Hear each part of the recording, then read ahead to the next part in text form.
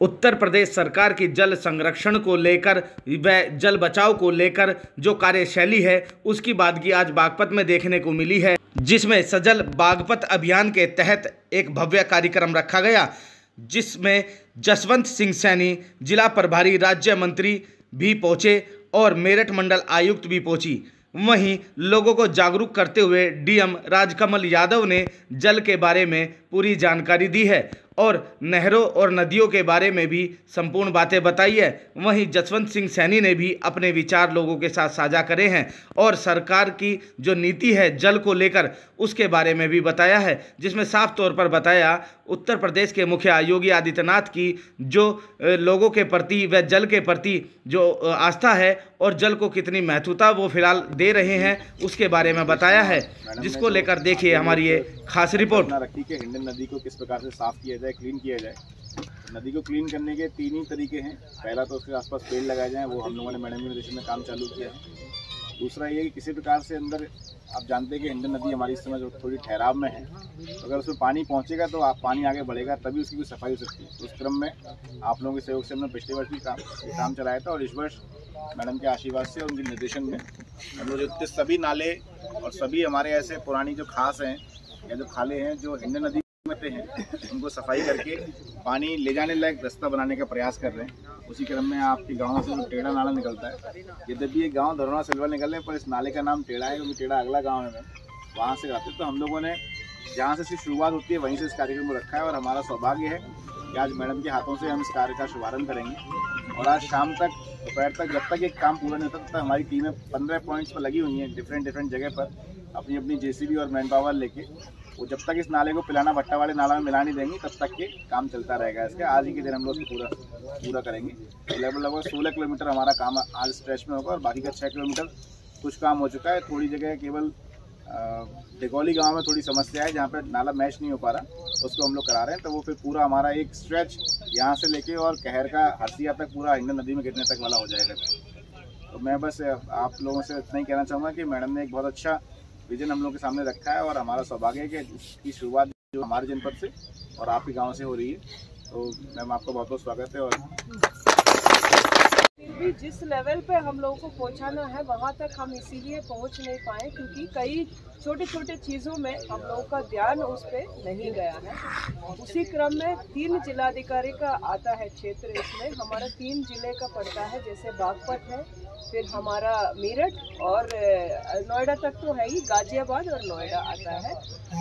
तो इसमें इनको, इनसे जब हम लोगों ने, हमने बात किया तीनों जिलाधिकारियों से अपना अपना कार्य योजना बनाए हैं तीनों जिलाधिकारियों ने, ताकि एक चीज़ है, दो चीज़ें करना है। एक तो सफ़ाई अभियान में, मेन तो जब पानी रहेगा, ये आपको पता है, हिंडन नदी बेसिकली रेन फेड रिवर है।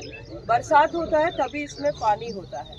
बट यहाँ के लोग जब मिलते हैं हमसे जैसे लोकली कोई जनप्रतिनिधि आते हैं या गाँव के लोग आते हैं अगर उनसे हम चर्चा करते हैं कि हिंदन नदी कैसा था पहले हम ऐसी अगर बातचीत करते हैं लोग बताते हैं यहाँ पानी इतना रहता था पहले नहाते थे पानी पीते थे इससे। वैसे जब बोलते हैं तो हम हमें भी बहुत इच्छा हुआ कि इस नदी को साफ़ कर देना चाहिए और पुराने स्थिति वही माननीय मुख्यमंत्री जी का निर्देश है कि पुराने जैसे स्थिति उसको लौट आए क्योंकि नदियाँ बहुत इम्पोर्टेंट है। आप लोगों को पता है, गन्ना का क्षेत्र है, गेहूँ, धान सब होता है। पानी के बिना यहाँ फ़सल भी नहीं हो पाएगा। तो हम लोगों का बहुत बड़ा ज़िम्मेदारी है कि पानी को कैसे, अब जितना पानी निकाल सकते हैं, हम लोग रोज निकाल ही रहे हैं, ज़मीन से पानी। अब कैसे इस पानी को ज़मीन पे लौटाना है हमको, इस पे विचार करना है। उसी क्रम में इस तरह से नदियाँ हम लोग ले रहे हैं ताकि इसको सफ़ाई अगर हो जाएगा और दूसरा, प्रदूषित पानी अगर अंदर जाएगा ज़मीन के अंदर, फिर अगेन आपका नुकसान होगा, क्योंकि स्वास्थ्य भी खराब होगा, फिर आपका फ़सल में भी कई प्रॉब्लम आएगा तो हम लोगों ने सोचा सफ़ाई हो जाएगा। तो बरसात में नदी अपने आप साफ़ कर लेगी बट ये है कि जो हम डाल रहे हैं ज़मीन पे पानी, वो साफ़ सुथरा होना चाहिए। एंड सेकेंडली उनकी खेती बढ़ गया है, किसका ज़मीन कहाँ खत्म हो रहा है, कई किसानों को पता भी नहीं रहता। तो दूसरे, जहाँ पे नाली है धीरे धीरे बंद हो जाता है, क्योंकि सिल्टिंग हो जाता है तो उसमें खेती कर लेते हैं। तो वो सब एक बार नाप के कहाँ पे एग्जैक्टली जो क्योंकि जहाँ से पानी इसका सोर्स रहता है, वो भी सही होना चाहिए। तभी नदी में जाके पानी गिरता है, क्योंकि यही मेन सोर्स है, हिंडन नदी का। इसी क्रम में जो कार्य योजना बनाया गया है बागपत में, जैसे डीएम साहब ने आपके सामने बताया, पिछले साल से ही काम कर रहे हैं डीएम साहब। अभी ये वाला नाली, ये बहुत अच्छा चीज़ है, क्योंकि एक ही दिन में इनको कंप्लीट करने का समरसीबल चल रहा कोई आया, बात करनी शुरू कर दी। घर से किसी बच्चे ने बुलाया तो घर चले गए। घंटा घंटा तक समरसीबल चल रहा, पानी बह रहा। है बिजली की का नुकसान, बिजली का मीटर लगे तो दिक्कत। और हम इस बात को देखते नहीं कि ये जो नुकसान हो रहा है, ये हमारा अपना नुकसान है। तो सब लोग मिलकर के अच्छे काम के लिए लगे और मैं पुनः जनपद के सभी अधिकारियों को और जिन लोगों का सहयोग, क्योंकि जन सहयोग से काम हुआ है, जिन लोगों ने सहयोग दिया है उन्होंने बहुत बड़े उपकार का काम किया उन सबको भी बधाई शुभकामनाएँ देते हुए अपनी बात को विराम देता हूँ। हम सब लोग इसको लेकर काम में लगे।